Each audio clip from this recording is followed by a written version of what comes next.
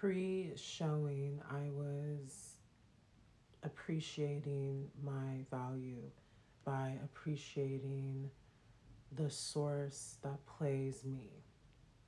In this game of life, there are really levels to it. And having graduated the levels without stepping on toes or, you know, saying I'm better than graduating from all the levels to where now I am officially in alignment with the metaphysical level, I am acknowledging and recognizing my metaphysical rank. The idea of rank isn't just a random thing that humans came up with that they're trying to absolve. It's genuinely a thing. We are played by a source. Luckily, I am played by a source that, like in my last reading, created me to be my own self. There are people out there who are played by sources that do not believe in sense of self at all. That is what an NPC is. That is what a bot is. An energy that is purely here for their sources gain or loss because it has been quickly seen that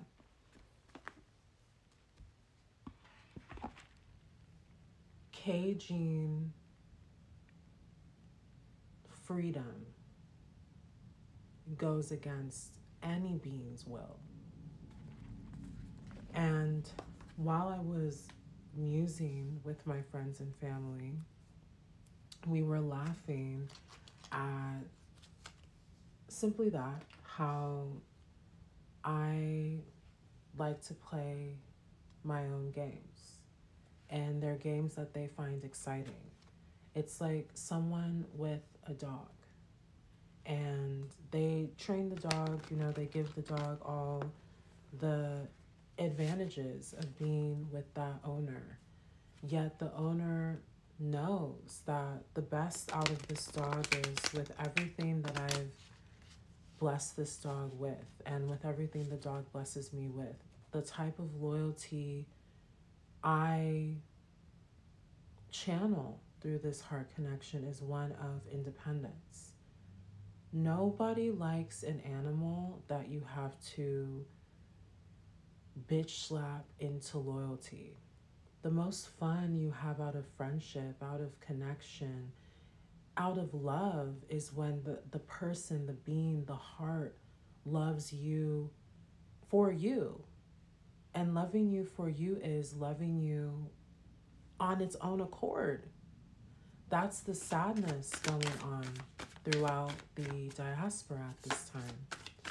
Those who once I was loyal to by abuse are now strained at the jugular because of the realization that, oh my God, we treated her without kindness.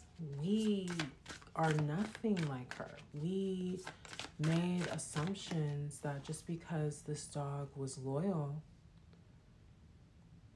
that meant we loved her. But that's not the case. That's not the case at all. Loyalty is gained. Just like anything that appreciates in value, it's an overtime accumulation of understanding that garden, knowing that garden, researching that garden, loving that garden, admiring that garden, having hope and talking to that garden, just like all the videos of the advances in science where a soft voice versus a hard voice talking to water, talking to plants, talking to trees. What happens? When I look outside my window, I see the bushes and the tree right in front here, how luscious they are, how boisterous they are. Then I look at the trees on other aspects of the home where my voice doesn't reach and they're dead. That says something. That says something about the energies that interact with those portions of the house.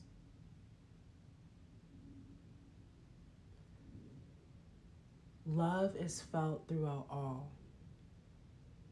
My voice keeps up the maintenance of this home. And heart connections that